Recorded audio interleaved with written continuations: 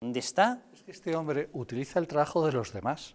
Su trabajo era presentar precisamente las necesidades estratégicas y defensivas de España y pedir, Y pedir, el papel exacto. que tiene que tener España internacional. Ese era su trabajo y el de su gobierno. Claro, hay que recordar que en su gobierno está ETA, está Bildu, están los, secesionistas catalanes, es decir, es muy difícil, están los comunistas de Podemos, es decir, es muy difícil que esa gente trabaje, y menos que trabaje para España. Ese era su trabajo. ¿Lo ha hecho? No.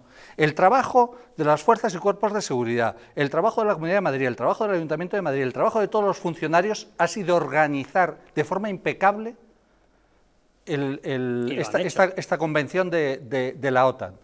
Pero eso, eso es exclusivamente organizativo, que sin duda alguna ha sido un éxito y además digo que probablemente en otro país europeo no habría salido igual, porque no tienen la capacidad que de verdad tiene el español cuando se pone a trabajar y la seriedad que tiene. El problema es que el trabajo que tenía que haber hecho el presidente del gobierno no lo ha hecho. Es que realmente, ¿qué es lo que ha pedido? ¿Cuáles eran las peticiones estratégicas y de peso internacional que tenía que tener España que ha solicitado y que se nos han concedido? ¿Cuáles son? ¿Las sabe alguien? No. ¿Por qué? Porque no existen. No las ha planteado.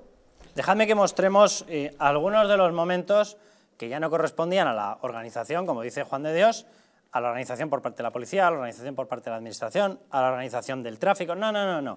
Correspondían a la actuación de cada uno. Vale. Sé que el primero que voy a poner, que es el de la bandera para abajo, la bandera boca abajo, que ya esta historia ya, de verdad, no hay nadie en el protocolo, no hay nadie en relaciones institucionales, no hay nadie en prensa, no hay nadie en comunicación, no hay nadie en Moncloa que esté pendiente de que nos ponen en todas partes la bandera boca abajo.